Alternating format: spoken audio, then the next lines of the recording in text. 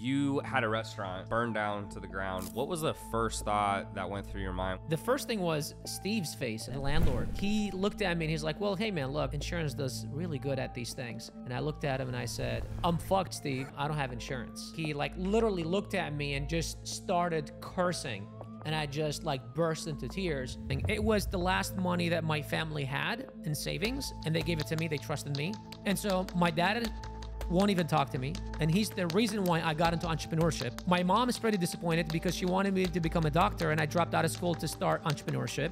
My friends think I'm a loser. I had employees that would be sending me, you know, threat messages every day because I hadn't paid them their last paycheck. And I'm like, all right, they're going to beat me up. I got to pay them somehow. I was $150,000 in debt. And I can still remember the first day I woke up with a $42 sale on my phone. It rocked and changed my world. January 2022 we spend 320,000 and we make 2.3 million. Bashar, I want to start with you had a restaurant Yes. burned down to the ground. What was the first thought that went through your mind when you showed up and saw that basically everything was rubble? Um, the first thing was Steve's face, actually, who was the, the landlord. um, he uh, he looked at me and he's like, "Well, hey man, look, the the you know the restaurant hasn't been doing doing very well, and uh, insurance does really good at these things."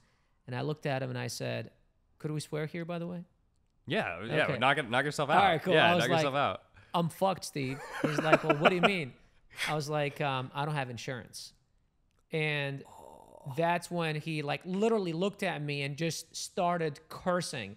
Because the thing is, I haven't paid Steve for the last four months. He's been like after me every single day, you know, serving me letters and all this stuff. And I'm just like, sure. And then, you know, I'll pay him here, I'll pay him there. Not because I didn't want to. The business was struggling and I just didn't have money. And as Steve is storming out, my dad is coming in and he comes up to me and, and my dad doesn't speak English very much, but he's like, I can tell your landlord is upset. What the hell is going on? And I just like burst into tears. And then he looked at me, he's like, I heard something about insurance. Do you not have insurance? So the first thought was, I'm fucked. You know, I don't have insurance. The place is down. I had just paid, I think, ten thousand dollars to have the Manny Pacquiao and uh, Floyd Mayweather fight, uh, which happened in 2015. Uh, it was like literally all the savings that I had because I was counting on that fight to happen. This was this happened Tuesday. The fight was going to happen, I think, Friday or Saturday. And I'm like, okay, what can we do? Can we put this place back up together here in the next two days? And the the, the fire marshal looks at me and is like, buddy, this is going to be here for a couple months. And so, yeah. Wow. And when you started that restaurant, we'll get into what you did next, but what, what was the reason you even started a restaurant in the first place? Did you think that was just the best business to start or where did that come from? so think about this this way i was a i'm a 23 year old kid who you know who's partying seven days a week and i'm thinking to myself if i can find a place where i can have fun with my buddies and make money that is like the the, the coolest thing ever right watching this don't do it that's the dumbest thing ever you don't want to do that um, luckily i always i never mixed pleasure and business I had a lot of our, you know, uh, uh, customers coming up to me, and and at the time I was single, you know, try to flirt with me and stuff like that. Especially when it's, you know, one o'clock in the morning and they've had like, you know, a, a six pack or whatever. Uh, of Bud Light, but I never did that, so that was a, a good thing. But it was kind of that was the, the whole mindset behind it was if I can find a place where I can make money and I can have fun at the same time, then that's great. But at the time, I had three business ideas in my mind. Uh, my father owned the second largest factory of clothing in Iraq, so I wanted to start something in fashion because he had lost everything, and I kind of felt obligated to bring that thing back in the family. Something in fashion. I wanted to start a, a spa, massages, that kind of stuff, uh, nail salon, barbershop, kind of like a mix of all, you know, of this big project. And I want to do something in hospitality. And I decided to do the hospitality thing first. And um, unfortunately, it blew out before I have the chance to start the other ones. So the restaurant is down for the count. You don't have insurance. Walk us through a little bit of what happens next. I know what happened for the audience, you know, a little context of what did you do? First, I got into depression. You know, that's the first thing. Um, that's where the mustache actually comes from because I grew a big beard. And then as I was coming out of it, I shaved the, must- uh, the, the beard and kept the mustache. Um, got a DUI about three and a half months after uh, because of that.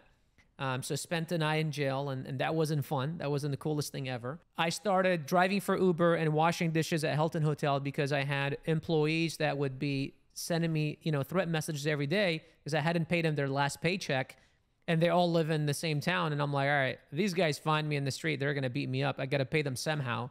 So I get these two side jobs to pay them. But I remember going through this this period of like two, three months of I've always had big dreams. Since an early age, I always thought that I was put on this planet to do something big. I didn't know where it came from. I didn't know why. I didn't know what. It was just the feeling of like, I know I'm going to do something big in my life. And I always dreamt big. But during those two, three months after the restaurant burnt down, I was like, mm, this is fantasy world. This is movie shit. This is like fairy tales. This is real life. It's struggle. It's bullshit. You get, you know, kicked in the nuts whenever, when you least expect it. And this is it. That's my life. Go get a job. I was actually offered a job at uh, at Hilton Hotels, sixty thousand dollars a year uh, plus benefits, which at the time seemed like a lot of money, especially when I was one hundred fifty thousand dollars in debt, and I almost took the job. And so I kind of went into this rut. And sometimes I see people going in this and then they beat themselves down. But I feel like, you know, if you've just had a catastrophic event happen in your life, it's okay. If you feel like shit, it's okay. I don't uh, we didn't talk about this, but two days ago, my Instagram page went down. It got And I didn't know how much traffic you run to that. Dude, 80% of our business goes through our, our I think Instagram. all, wasn't it all of it? Did Well, you? it was up until because last year the same thing happened, and we've been you know starting paid media and stuff like that to, to diversify They, our traffic. they just start disabling the accounts for no reason. I've No had it reason. happen to me. No, No reason. reason. It goes down. Yeah. And then you have to sit and wait, or maybe pay someone. Exactly. What, what's the status right now? um, I have a couple guys working on it. I was literally that's why I kind of took a, a few minutes. I was in the lobby, you know, talking to a few people, you know, sending messages, contracts, that kind of stuff to try to figure it out. But on Monday, I woke up with that. Like 6, 6 a.m., I opened my phone and it's like, your Instagram page has been disabled. I'm like, fuck. And so I took Monday, and my wife is like, I can't have you do this right now. Your energy is bringing me down. You got to mm-hmm. fix this. I'm like, mm-hmm. babe, give me the day. I feel like shit. Give me the day. Tomorrow morning, I promise I will shift it. And I've got kind of this process that I go to. It takes 30, 45 minutes. It doesn't matter what's happening.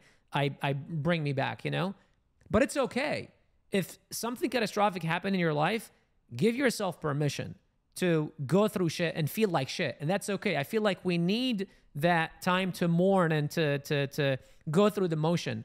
What's not okay is to stay there. Mm-hmm. Give yourself a limit. It's like, okay, I've got two hours. I'm gonna do this. I've got a day. I've got a week. Whatever, the, whatever it is, depends on what happened. Like if you lost a loved one, maybe a couple hours isn't gonna do it. You know, but if like your Instagram page went down, it's like, all right, it's happened before. I'm gonna give myself a day. Tomorrow morning, I'm gonna fix it. You know. So that's kind of what I think about that. I think after you've been in business a long time, almost maybe like a marriage, and things happen, you just get better and better at handling it because 100%. happened before. Absolutely. So, okay, so here's what I want to go into next. So the restaurant burns down. Obviously, everyone, most people who are watching this are going to know you're the Amazon FBA guy. But for anyone who's listening who maybe wants to get into it, how did you come to that conclusion? Hey, here's what I want to do. And maybe start walking us through how do you start picking products? How do you know which one to do? Which one did you sell first? Start with that. So I have this thing that I now call the discovery phase. I didn't even know that I went through it up until about a couple of years ago because people ask me this question all the time. It's like, dude, I go to YouTube and there is a million things I can do. Where do I start? You know? And that's how I did it. Number one, research for free because there's a plethora of free information out there for free, anything and everything there is that you can research. And that's what I did. I opened my laptop and I was like, all right, you're supposed to make me money. Show me how. And I just went to YouTube and I started researching, right?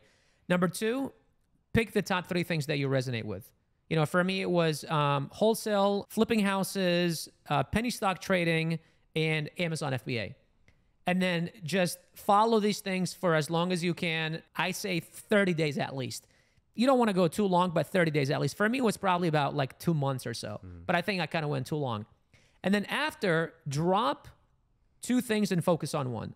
So I dropped wholesaling. I took a, a course. I remember I took a course on actually on all three. I dropped two, and then I kept Amazon FBA. Mm-hmm. And then you want to find one person that you're like, all right, I resonate with this person and go all into their teachings. For me, it was this, you know, a 17, 18 year old kid that was driving a Lamborghini. He used to piss me off because he was a, a kid in a tank top driving around in a Lamborghini when I was a 25 year old kid with a real business experience under my belt, not successful. And this kid was successful. And I'm like, what the fuck does this kid have that I don't? Mm-hmm. and focus on that person's teachings because regardless what it is you're trying to do, someone else has done it before you. And instead of going through it through trial and error, like that's the only shortcut to success. Piggyback on someone else's success. So for me, it was buying the course, shittiest course that I took in my life, but it showed me the you know the two or three things that I that I didn't know how to do because I tried to do it on myself. I launched three products and all three failed because uh, I was like, well, if this kid can do it, I can do it. My ego was you know bigger than this place, and um, and then finally I I admitted to myself that this guy knows something I don't, and if I want to make it happen, I need to pay attention to them. Do you think most people have that same mindset that they don't need any help and Yes. they stay stuck there? Oh, dude. Why do, why do you, why do you think people do that? And is is that part of why you got into coaching? 100%. The reason why it's ego, for me at least, we all have ego. And I think a, a degree of ego is necessary, right? Because you can't not have ego, then you'll get yourself in trouble. But having too much ego will even get you in a lot more trouble because what happens is when you have that ego, you now don't have that beginner mindset anymore. And unfortunately, that happened to me after I hit, I hit eight figures and after I was praised everywhere I went. And I was the guy that grew uh, a personal brand from zero to 2 million followers in like a record time and whatever. And, uh, and everyone was telling me that how great I was. And then that ego came back to me and I ate shit. And so we have to make sure that we understand that our ego exists, keep it in check and be aware of it and and and and be aware where it's holding you back and when it's actually needed. In a situation where it was needed, I was being held hostage by an agency that was running my traffic the first year, uh, second year of, of business. And they said, unless you comply with us and do it the way that we want it to be done, then we're not going to run your stuff. And that's when I needed my ego to show up and say, you know what? Go fuck yourself. Hmm. Just like I found you, I can find someone else. I fired them and I went and figured it out by myself. So a degree of ego is necessary, but it's really important to understand that it can hold you back. It's held me back more times that I can think of. And I know it holds a lot of people back as well. So you start, you go from the restaurant, 2015, you start Amazon FBA. You do that for about four years Yes. before you finally start BJK University, correct? So during those first four years, what are some of the things you learned or some of the things you sold? So for anyone listening that maybe wants to get an Am- Amazon FBA, but they don't know how, walk a little bit through that journey before you actually started teaching it. So I started with this thing called arbitrage.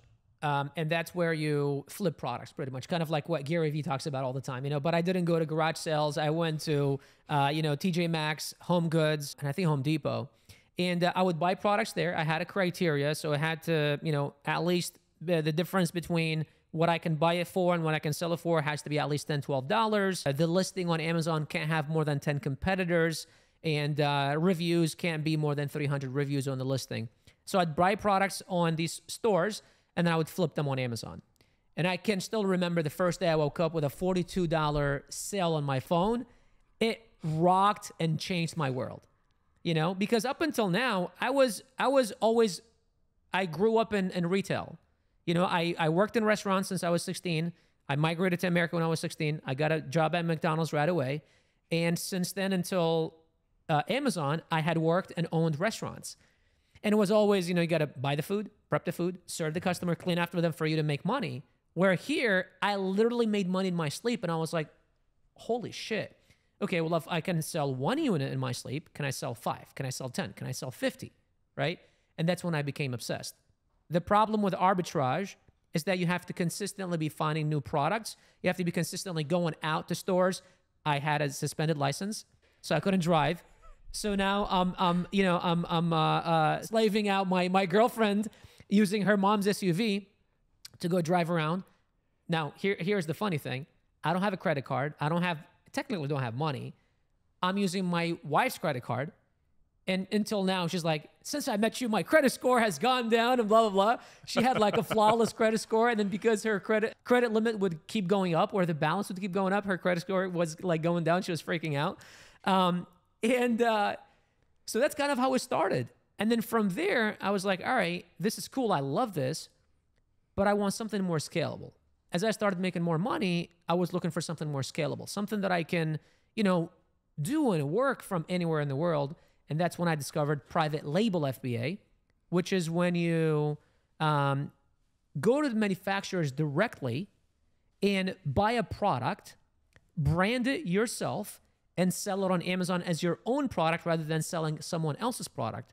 The cool thing is you can sell 500 units of this a month. You can sell a thousand units of this a month. Where the initial strategy, if if I wanted to sell 500 units a month, it would be of like 20, 30, 50 products. I don't have to physically go and buy these units. So that's how kind of I started my journey with Amazon. And did you learn that in a course, or was it really through trial and error? Um, a lot of it was none of it was through trial and error. A lot of it was just researching on YouTube, especially the arbitrage side of it. There weren't any courses, at least that I knew of, that were talking about it. There were a couple podcasts that I listened to, but the private label I learned through it. I learned the the free stuff, mm-hmm. but I didn't make it happen until I bought a course. That makes sense. And then for anyone who's listening, as you're selling it, how were you selling it? Because I think where a lot of people get caught up on is okay, yeah, I can go find a product, but how do I get enough traffic to sell it? People ask me that. So this is a great question. The other question I get always asked is, why did you choose Amazon? And so to answer both those questions in one, 56% of all traffic of all online sales happen on Amazon.com. Mm-hmm. 56% over 30 million people. That was a stat in 2015 when I started. Right now, that number is over 500 million people shop on Amazon every single year, spending between $1,200 to $1,500. Over 47% of Amazon sellers have reported making a profit, and over 75% of those have reported making over $100,000 in profit. So for me, as a 25 year old kid who's got $150,000 in debt, who's never done anything online, these stats were very attractive to me, right? And so for me, it was just a matter of the traffic's there, which is the biggest problem any business has. All I need to do is find the right product. Well, there's over 12 million products active on Amazon, and over 300 million people come into the Amazon platform to buy these products. I just got to find one and I just got to find about 300 people per month to buy my product out of 300 million. I don't hmm. even know what that is, like 0.0000001%, right? And so for me, it was like, all right, it's just a matter of numbers. And the math makes sense. If the math makes sense, I just got to go find that product. Unfortunately, my first three products failed because, again, I thought I could do it by myself.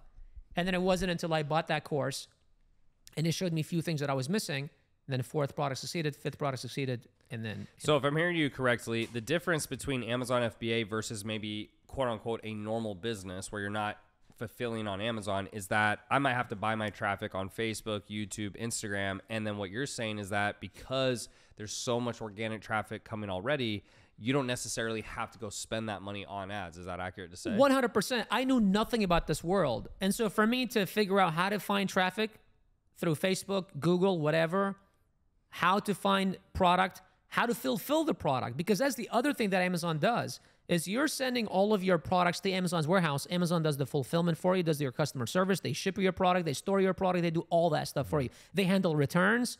It's like, okay, all I really need to do is find the right product. That's literally it. So what's the key thing to getting ranked high? Because I'm assuming that's going to play the biggest part. Is it picking a unknown product that just has less competition? Is it picking a super competitive product, but then you have key things you can do to rank it higher? What's really the overall or the best strategy if you're new to Amazon, you're trying to rank your product high? It depends on your goals. Someone watching, if you're say if you have ten thousand dollars a month in your in your in your mind, it's like okay, I want to make ten thousand dollars a month online I would say picking a random product that you know can generate between 300 to 500 units that has moderate to low competition. For us, it's reviews. We look at the reviews and we say at least top 10, at least four of them need to have less than 300 reviews. That's a moderate to low competition. And it should sell between 25 to $45 as your sell price.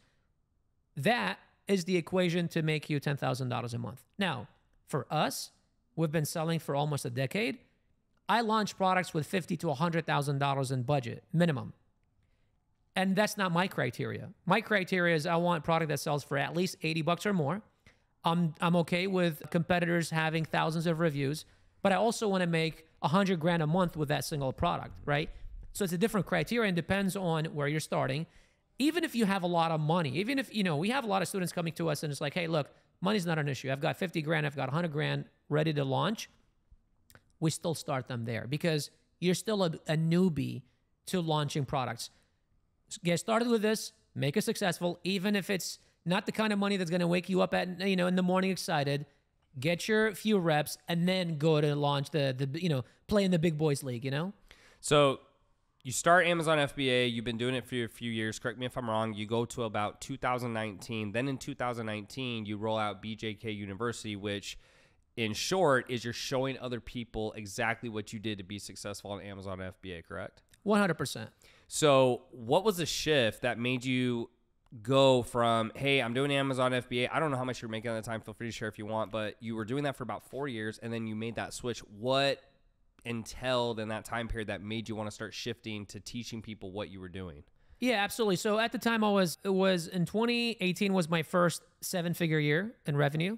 Uh, 2019 uh, did about three and a half, four and a half million in And keep in mind for everyone listening, this is products. So, you know, you're selling stuff, what, $80 you said, or $50? yeah, and yeah, this is thousands of units. Yeah, thousands and thousands of units. units, Yeah, yeah. which is very different from you know the high ticket world I'm in, where you're selling very low units but very high prices. So keep Yeah, going. yeah. So these are- these are uh, under hundred dollar products. Mm-hmm. You know, so this, these are thousands of units being turned every single month, uh, every single year. I had gone into kind of a into hiding for about two and a half, three years, uh, because honestly, I was ashamed and I was embarrassed because I was always the the guy that talked big game with my friends, and I'm like, I'm gonna do this, I'm gonna make it big, stuff like that. And when my restaurant burnt down and I lost everything, it was the last money that my family had in savings, and they gave it to me. They trusted me to go start this business because we had a we had a restaurant prior to that that was a family business, and then I wanted to branch out. And so my dad won't even talk to me, and he's the reason why I got into entrepreneurship, right? My mom is pretty disappointed because she wanted me to become a doctor, and I dropped out of school to start entrepreneurship. My friends think I'm a loser. And even, even with your success so far, like even even though you've sold millions of dollars, I'm talking b- before Oh, that. even so before before that. that, Okay, right? before so that. before that. So I, I go into hiding, right? I literally blocked all of my best friends on my phone, so that way no one calls me because the minute they call, it's like, "Hey man, how you been? What you been up to?" And it's like, I'm fucking washing dishes. I don't know what what do you want me to tell you. You know what I mean? And so I go into hiding. I discover Amazon, and I'm successful two three years later. And I come out of hiding, and now I'm showing up to the places where they, you know, the hookah lounges and all that stuff where we all hang out. you do love some shisha. Oh, dude, I love some hookah. Yeah, yeah. And uh, they're asking like, okay, you're driving a nicer car, you know, you're showing up, you look like you're fine, you know, like what's happening. And I start talking about what I'm doing, and I'm, you know, it's like an exciting kid. It's like, look at what I've got and that kind of stuff. Because now it's like I've got something to talk about, to feel good about myself. And then a few friends started asking, well, shit, I've been hearing about this. I didn't know you were doing it. Show me how few friends heard, few friends heard. A couple people, you know, I, I would just jump on calls, Zoom calls. I would charge people some, some I wouldn't, you know. I didn't have a course, didn't have anything, didn't have a YouTube channel, didn't have anything. And then that's when I, you know, realized that maybe I should make a YouTube channel. And I started making some videos. A friend of a friend or someone paid me a few hundred dollars and I built some course for him and he went through the program. This is Zach Brown, if you're watching. I talk about him a lot. I teach him a bunch of stuff. He goes away, he disappears. He comes back about six months later. He sends me a message saying, Bashar, you're the fucking man. In the last six months, I've made $36,000 in profit. And I was like, holy shit. Yeah. I was like, damn, I should have taken a piece of this business. you know? The thing that was going through my mind, I remember uh, I was married at the time. So that's my girlfriend, now is my wife. She comes up to me, she's like, Aren't you jealous? I was like, No, why do you say that? She's like, Well, I mean, how much did he pay you? I'm like, I don't know, like 400 bucks. Like, you just made him 36 fucking grand in six months. I'm like, shouldn't you have like a, a bigger piece of his business? And I started thinking about that. And the thing that dawned on me is this it wasn't the money that I made from him or the money he made, is what that money now did for him. This is a 22, 23 year old kid who was into dirt biking and he wanted to travel the country and go into tournaments, but was a FedEx driver driving 12, 13 hours a day and couldn't do that. Now he was able to do that. And that's when things clicked for me. And I was like, not, uh, not only can I do this for myself and clear my debt and, and, and provide my family a better life, I can do that for other people. and I can do, you know, I can make a decent living out of it because I'm like the guy that so like I bought courses to get here. So there's this thing that's called courses that I can teach people. Like it's not a foreign language, you know. It's it's a world that exists out there. And then as I started taking more courses, I started realizing a lot of these kids don't even know what the hell they're talking about and launching all these courses. And I'm like, well, shit, why don't I get into this game? And it was more of the fulfillment part of it that really drove me into it. And then obviously it became a very successful business. And now mm-hmm. that's my main focus. Well, and it's funny you say that because what I love about your story is I relate to that is you don't actually go out looking to teach people. It's that you actually had success and then as you have success, people want to know what you're doing and as you start telling people at least in my what happened to me and I'm sure you can relate is you just start realizing, "Oh my gosh, all these people want to pay me money and they want help." And for me, I think going to your point, it, it feels very fulfilling to you have a bigger impact. You just have a bigger impact because instead of you just making money, all these other people are making money because of you. So you start BJK University, right? It's 2019. It's 2024. It's been going about five years. Uh, you've done crazy numbers. We'll just say eight figures. Uh, you can re- relay how much if you'd like, but you've been doing that for about five years. I, would like to talk more about how that business works now. So obviously we talked about the Amazon side. Now you're in the consulting side. I think people would find it interesting. Talk about basically until recently. I know you're having some issues with it, but I remember even years ago, you only have one traffic source. Yeah. You have a very simplified business. Talk a little bit about how your business works. You know how you run the traffic, how you get uh, the leads, how you you know work the leads, the sales team. Talk a little bit about how your business works in general.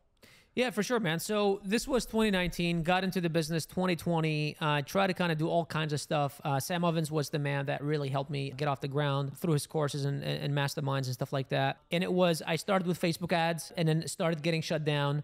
I went to YouTube, couldn't figure that out. I hired an agency, they couldn't figure it out. You know, make it profitable. And as I was firing them, uh, my exit interview, um, the the account manager was like, "Hey, dude, uh, have you heard of this thing called Instagram shoutouts?" And I was like, no, what the fuck is that? He's like, there's this thing where there's this guy and uh, he, oh, he places ads on these pages. They drive traffic to his, you know, to his page. And then he said he's spending ten thousand dollars a week and making forty thousand back. I was like, shit. Well, I, I haven't heard of that before. I'm spending, you know, fifty thousand a month, making fifty one thousand a month. You know what I mean? And it's like, yeah, I should check it out. So this was like, um, I think September of uh, 2020. So then I go to Instagram and I'm like, all right, well, what's this about? So I start running my Instagram page. Earlier in the year, I had a, an agency kind of like running my Instagram page, not successfully. So I kind of take that over and then I start doing Instagram shoutouts. So I talk to a few pages and I'm just like, here's an ad, put on your page, drive traffic to my page, and I'm posting on my stuff. Nothing really happening. Two months go by, nothing really happening. One of the pages reach out to me is like, look, I see what you're doing. I love what you're about. I think you're doing a shitty job and I can do a better job. Pay me $600 a month plus 15% of whatever we generate here. Um, so 15% of gross profit, and let me do it. I was like, okay, fuck it, you do it. This is October, I think, of 2020. November 2020, I decide that I want to shut down social media and I want to go all into YouTube ads and figure that world out myself. Mm. I'm like, you guys got 30 days because I'm shutting everything down. I used to post, I think 25 times a day. Twitter, YouTube, Facebook, Instagram, uh, LinkedIn, everywhere, right? I was following Gary Vee. Gary fucking said post 25 times a day. I was posting 25 times a day. Story, literally everything, bro. And then I was like, this is just not catching traction. I've been doing it for the last two years. It's not going anywhere, you know? And I was like, I just want to do run ads. I want to do YouTube because Facebook is shitty. I want to run YouTube. And uh, I was like, you guys got 30 days because I'm going to shut down the channel. That 30 days, they spent, I think, 5,000 on ads and we made 12,000 back. I was like, okay, we'll go another 30 days. That second 30 days, we spent, I think, like, I don't know, 20 or something. And we made like 60 or 70. I was like, shit, okay, well, this is something. January 2021, we spend, I think, 40 something thousand and we make like 150 something thousand. Oh. January 2022, we spend 320,000 and we make 2.3 million.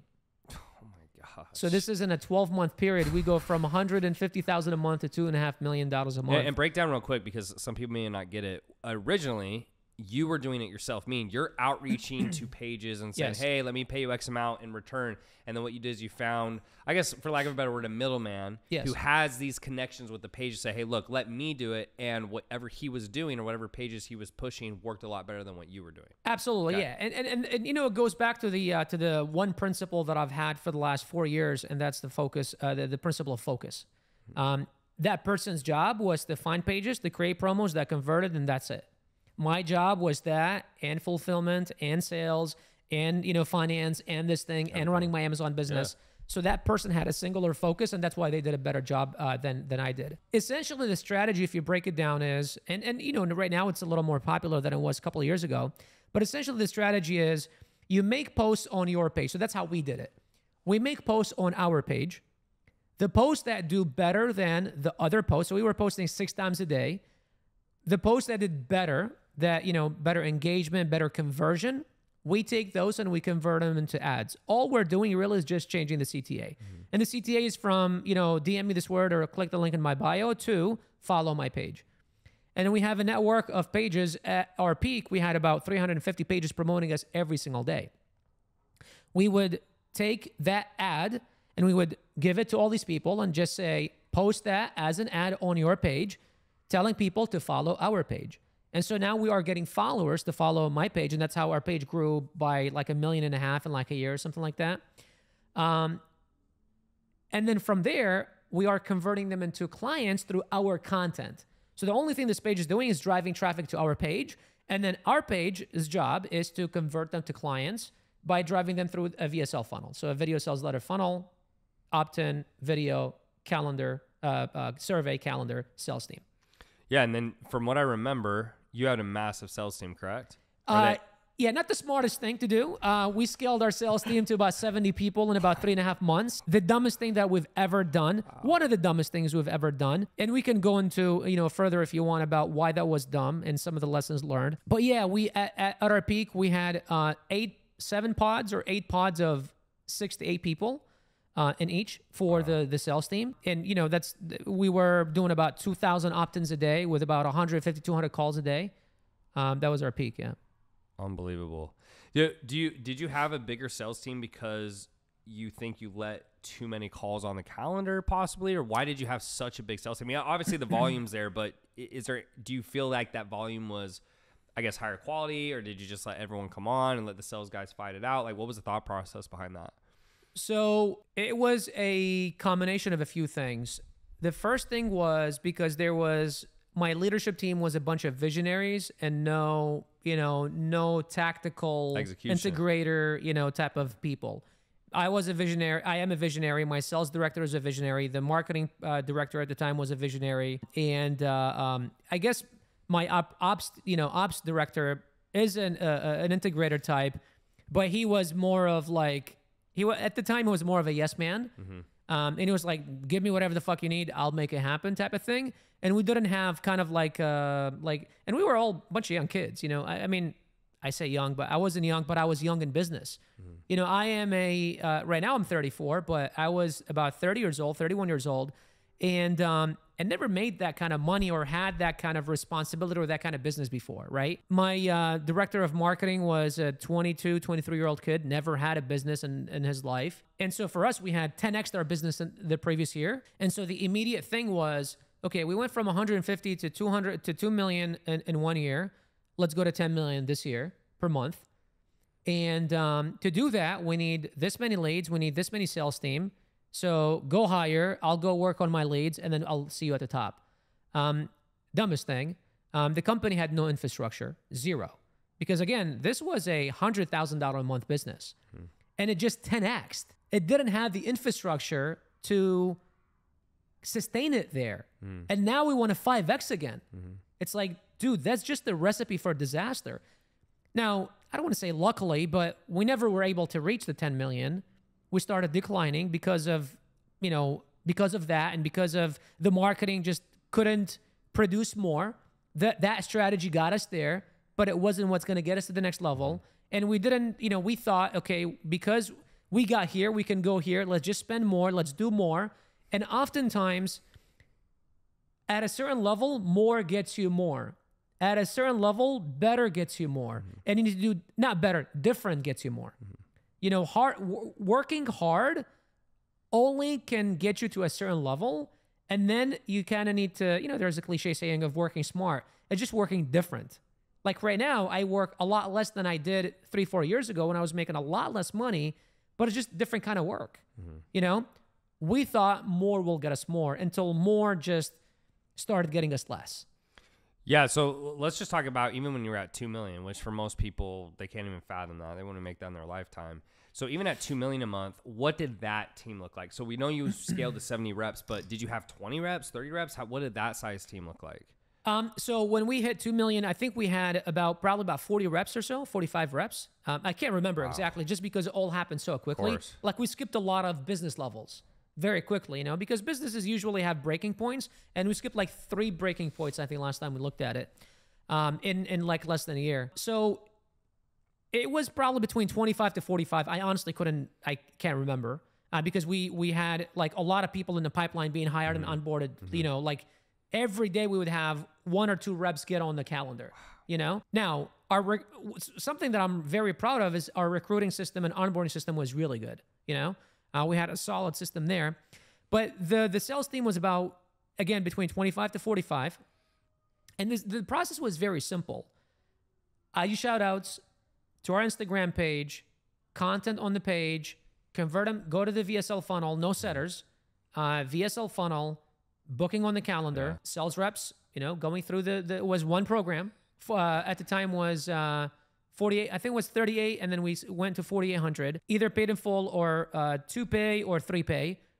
No financing, uh, nothing, nothing. It was it was very simple, you know. And I would I would do so I would do content for Instagram, and I would do one YouTube video uh, per week, uh, just content about Amazon or whatever, and that's it. Like that literally was all of our business. That's it. Yeah, so for everyone listening, just so you understand, that business model for it to work as well as it did is, I would say, abnormal. Yeah, Uh, yeah, I don't know. Too, that, Bashar is one of the only guys when he told me his traffic source and he had no setters and he had a sales team and I'm doing two million a month. I, I would scratch my head because no one in the industry, as far as I knew, was doing it. So around this time, I want to say, let's say it's 2021, 2022, somewhere in that range. At least what I've experienced in my business, and this is what I'm curious about, is we've gotten to about you know between 1.5 to 2 million a month. That was our peak. And then i was in the same boat where hey just more more more more. And around that time i really noticed that at least since that time i've noticed uh, this is when covid is starting to come down and more people are maybe going back into the workforce. Ig shout outs don't seem to be the same as they are now excuse me as they were back then.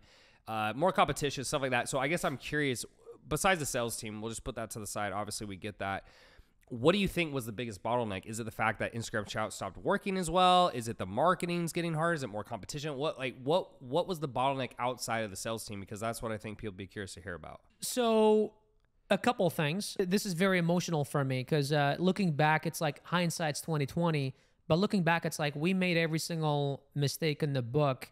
And although I had mentors around me, that year, 2022, was our biggest year. And I also invested over $600,000 in coaching, masterminds, mentors, one on ones. In a year. In a year. Wow. I, I was in Tony Robbins' inner circle. I was in Russell Brunson's inner circle. I was have I was doing one on ones with Dean Graziosi, Tai Lopez, Dan Lok.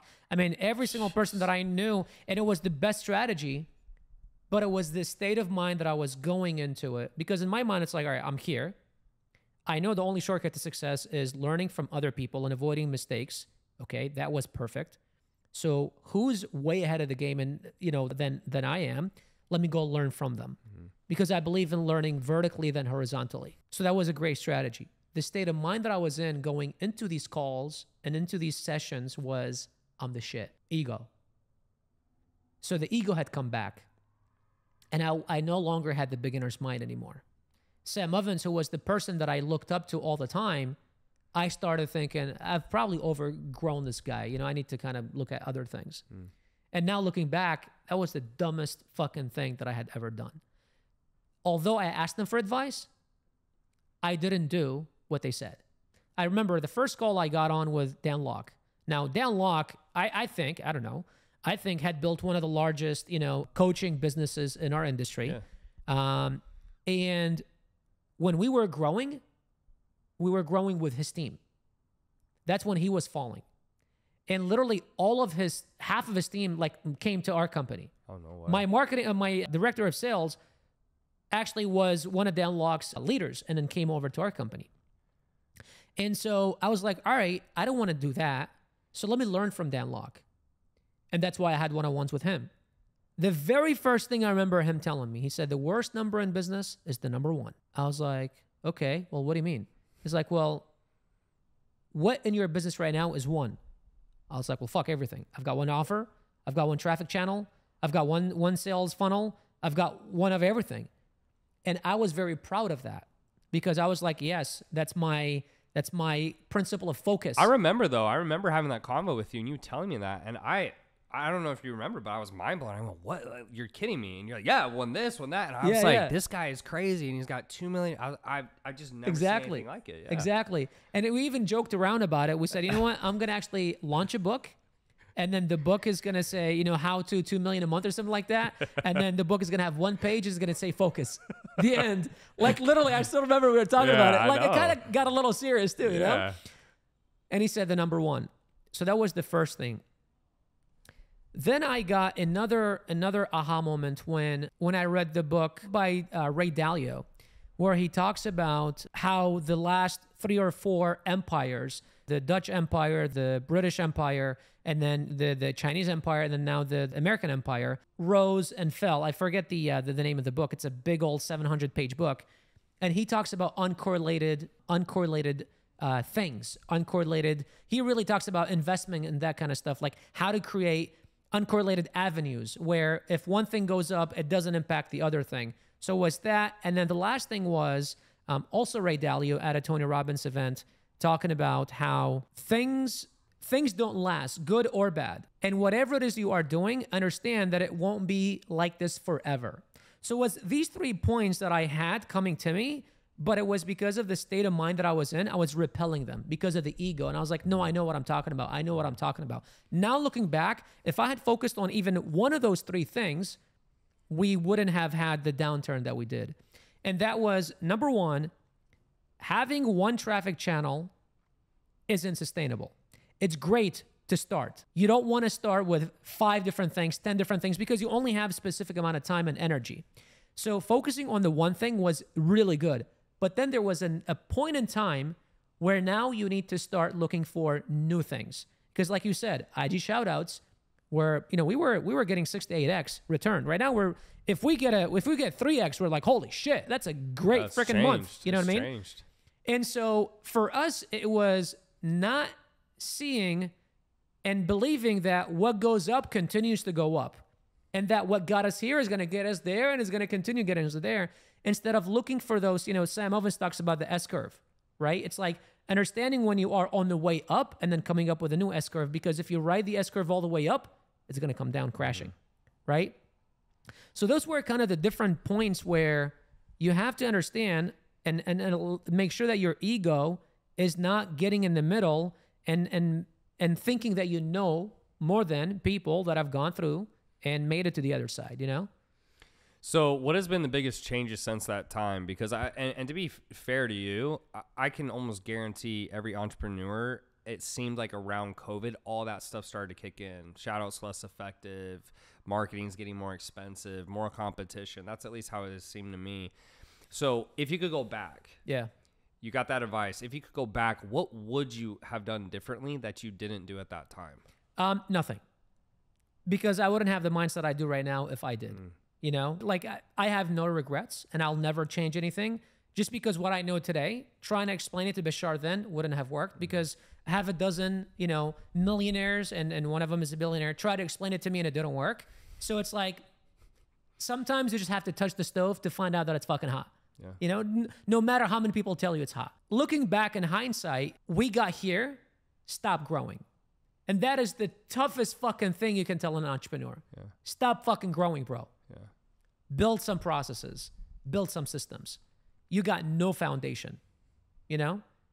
Take a take a breather. You got here, celebrate it, stabilize it, hire, build processes, and then now build a plan to go to the next level. And what is the next level? Because we didn't even know where the fuck we wanted to go. We were just like grow, grow, grow, all cost. And that is one of the the the the you know, it's like slow is fast. That is one of the most dangerous things that every entrepreneur will be faced in their journey and one of the toughest decisions, especially when you just came out of like the best year of your life and you're being told to slow the fuck down. It's like, what are you talking about, dude? Like, hell no. But I think that's where it takes a level of maturity, a level of wisdom to say no that I did not have two years ago. And unfortunately, I had to touch the stove to find out that it's hot for me to realize that, okay, well, I know now that if that happened again, I need to slow down, stabilize, and then scale. You got to clean up your mess. Yeah, so part of it, it sounds like, is the processes, maybe team. So having leaders in place that can take stuff off your plate, you know, at a massive scale. I guess I'm curious what your take is on this. Recently, we've seen Alex Becker stop doing internet marketing, went to Hyros. You saw Sam Ovens, he's doing Skool. Alex Hormozi, obviously, he just invested.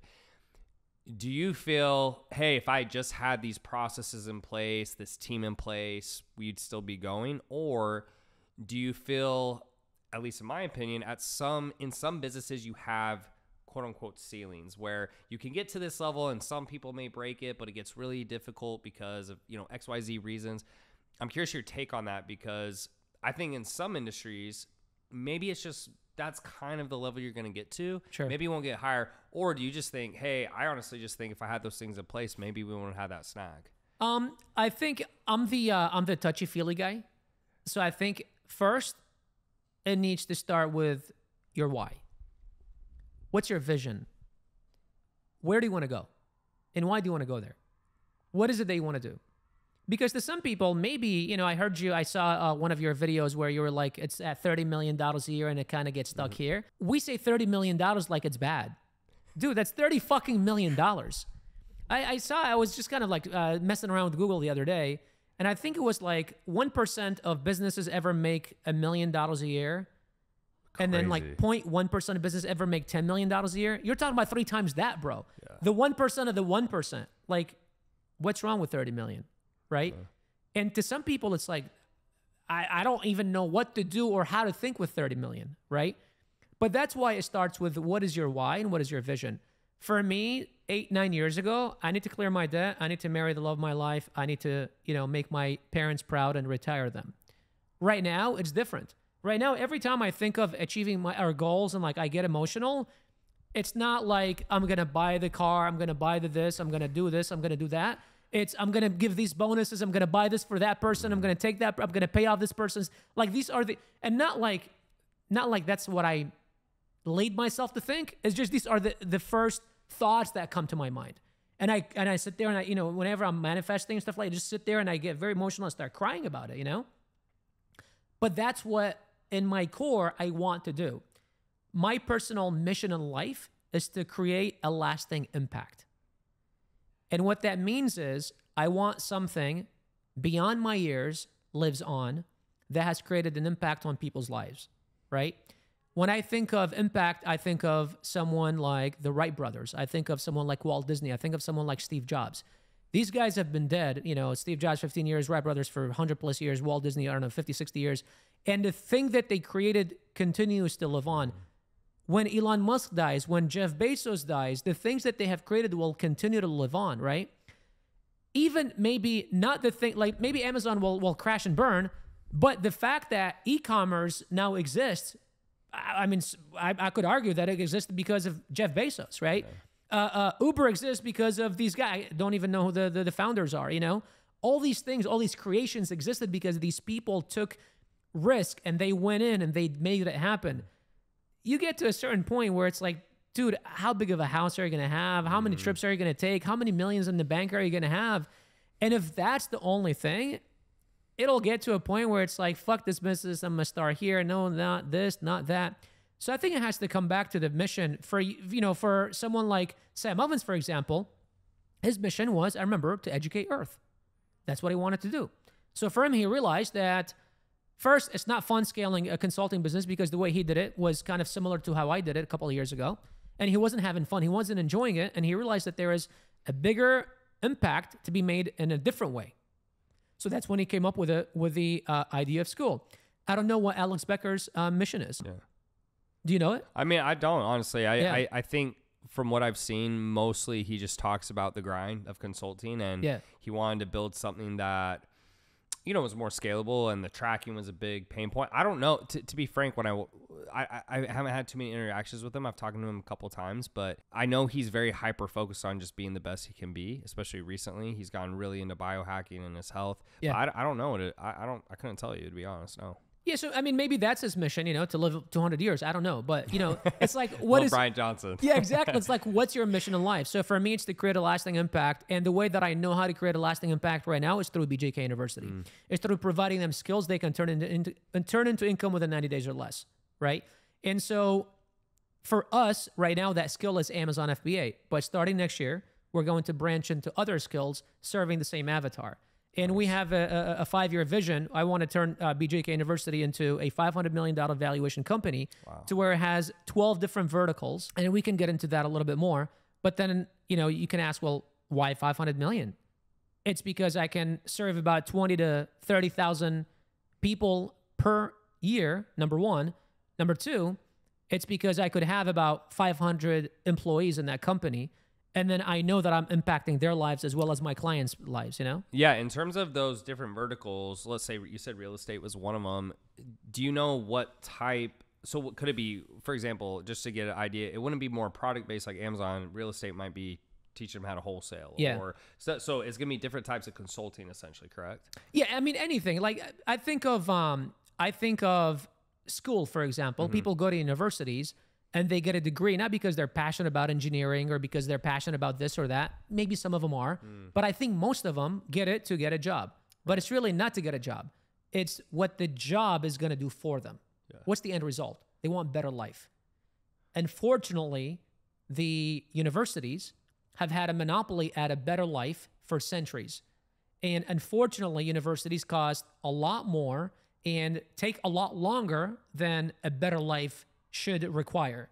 And so for us, we want to provide people a skill they can turn into income within 90 days or less at a fraction of the cost. Yeah, you know something I respect about you, and and I think I forgot to hit on this is, you know, Bashar mentioned he was selling it. Let's just say between three to five grand. to hit two million a month at selling something at three to five grand is pretty much unheard of. I mean, most people. I would say that get past the 2 million a month mark in this industry, they have a massive back end, something 50,000, 60,000, 100,000 because it gets really expensive to run that team and so forth. Um, so uh, to go back to BJK, is your hope and vision that it almost replaces college or like going to school in the sense of that would be almost the college education or how what's your vision for that? Our mission is to impact 1 million lives at a time by disrupting the education system.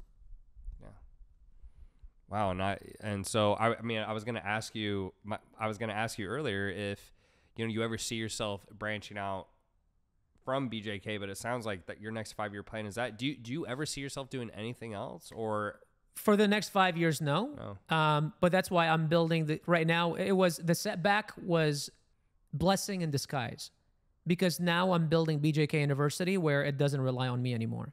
So I am introducing new faces. I'm introducing, you know, I'm building an executive team that can run without me. Um, in the next couple of years, we're uh, next 12, 24, yeah, 12, 18 months, we're going to be bringing in a CEO that takes over the day to day from me. And so in five years, I want BJK University to be set up for exit or to be exitable, not because I want to exit it, just because I want it to be able to run without me. Because if the company is exitable, that means I am no longer valuable to the company. And I heard this quote last year by Roland Frazier. I had a one on one with him. He said, The more valuable you are to your company, the less valuable your company is. Yeah. And I was like, Holy shit, I am very valuable to my company right now.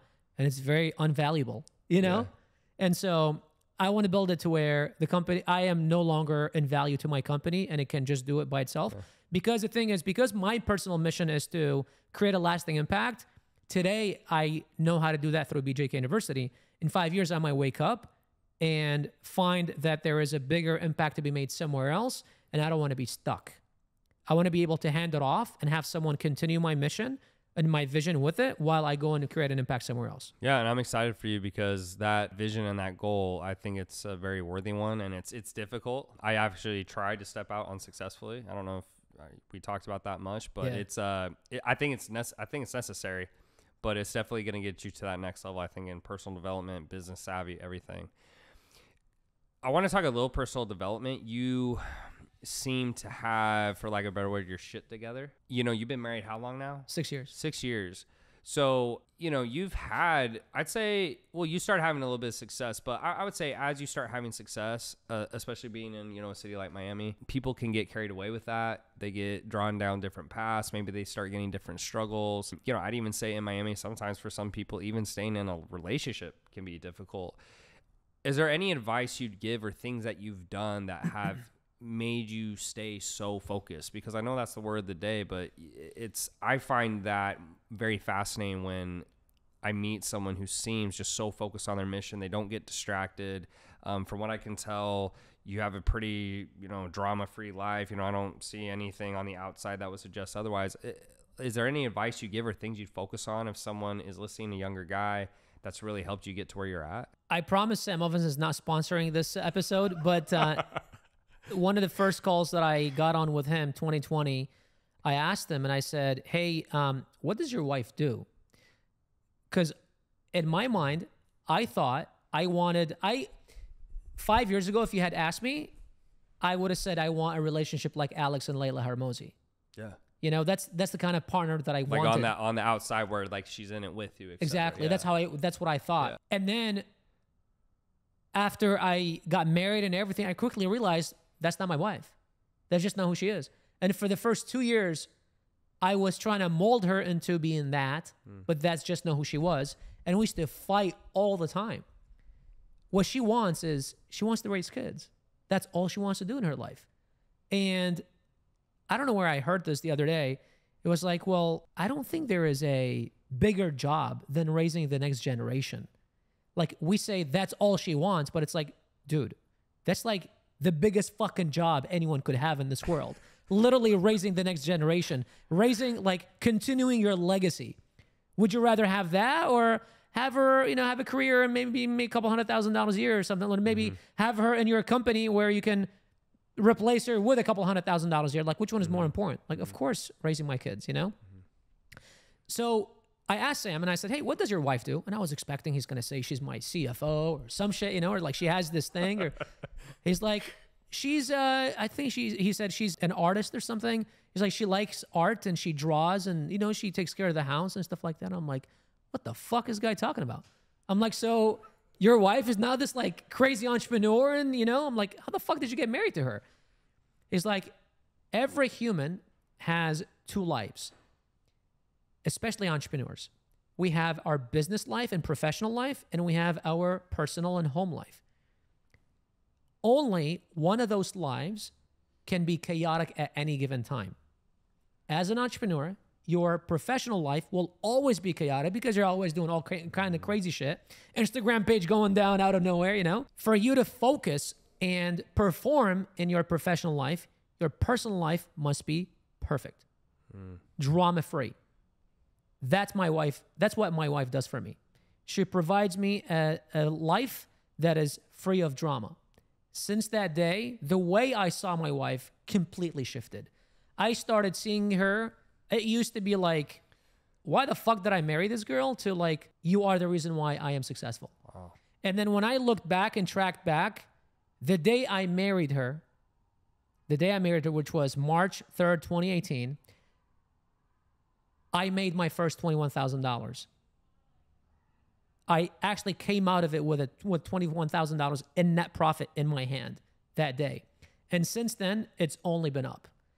Because she brings that different energy into the relationship that I otherwise wouldn't have had, and she brings that subtleness and that focus to the ener- to the to the relationship so that way I can go out there and get bloody and fucking get beat up and then I know that if I come home I've got a shoulder to cry on. Hmm.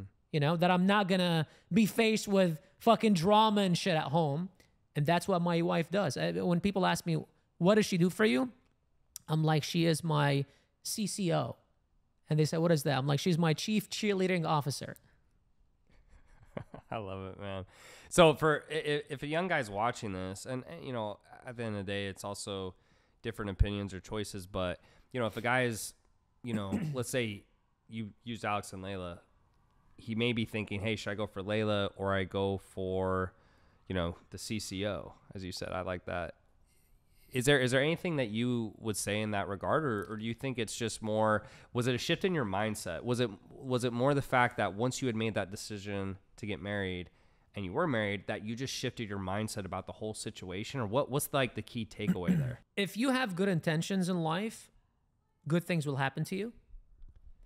And there is, without getting biblical here, but there is a picture. Um, it's supposed to be God, Jesus, whatever you believe in, that's uh, kneeling down, and there's this child that has this teddy bear in her hand, and he has a bigger teddy bear behind his back, and he's like, "Give me that," and she's like, "But God, I love it," but he's got a bigger teddy bear in the back.